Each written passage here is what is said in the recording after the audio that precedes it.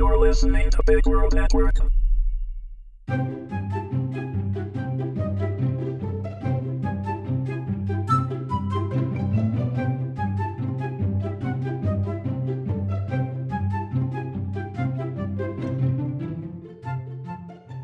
Host a Hero, Episode 1. Written by E.T. Mills. Read by Rena Adachi.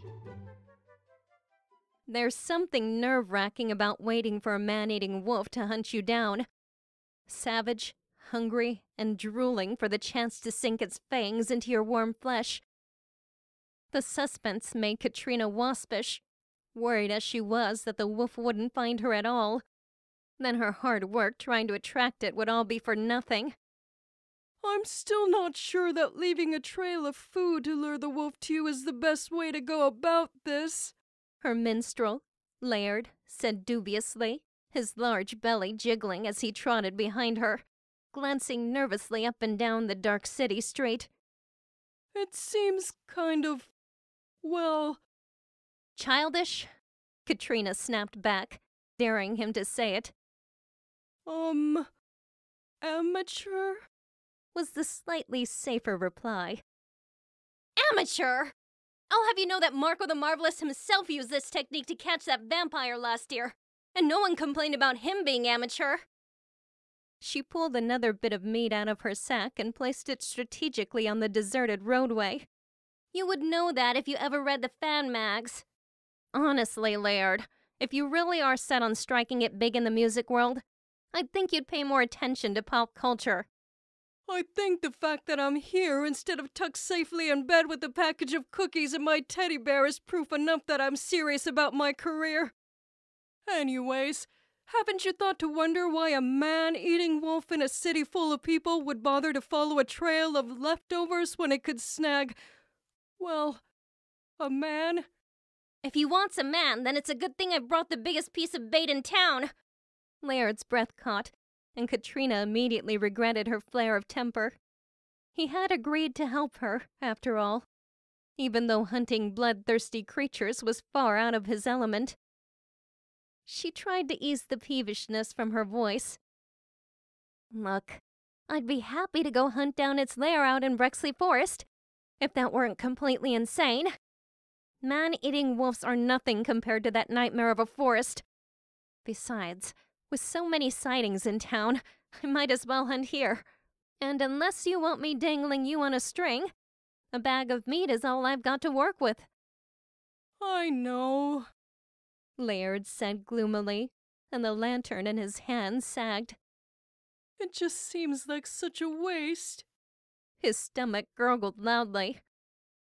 Oh, for heaven's sake, Laird! Here you're going on about technique when all you really care about is the food. Well, that's your mother's pot roast. Her best dish, he said by way of defense. You're just dumping it on the ground. And I know I saw a steak go down somewhere back there. A whole steak! Once we get this trail back to the diner, I promise I'll give you the rest of the sack. And the week of free meals? He asked as though afraid she'd forget her other promise. As we agreed, she stuffed a hunk of leftover meatloaf in his hands. See if that won't appease your appetite. And be silent, will you? I don't need you scaring off the wolf.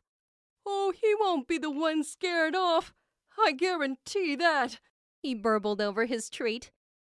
She regretted bringing Laird at all. Not that she preferred being alone on the streets so late at night with the man eating wolf on the prowl, but the portly minstrel was hardly a comforting presence. He talked too much when he was nervous. His obesity slowed them down.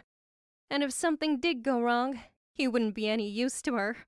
But the truth was, she couldn't get along very well without him, not if she wanted to get into the Host a Hero tournament. Host a Hero was a huge tournament style event put on annually by KFly 1430, a popular radio station broadcasting across multiple kingdoms. Every year, they selected a different city for the tournament, inviting local businesses to enter and sponsor a hero to compete in the tournament's four quests on their behalf. Mostly you saw the same popular heroes year after year, like Marco the Marvelous or Cloghorn Cassidy, but sometimes businesses introduced new personalities whose hero careers then rocketed from oblivion to punch drunk fame.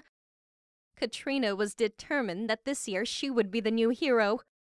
To be honest, she had never seriously considered a career in the hero industry until a week ago, when K-Fly announced that this year Host a Hero would come to her own town of Toodleton. In the wave of public excitement that followed the announcement, Katrina, who'd spent all of her 17 years confined to waitressing at her father's diner, realized this was the chance she'd been waiting for to redirect her life. Her own father had once made a fortune in the hero industry. Not that a fortune in the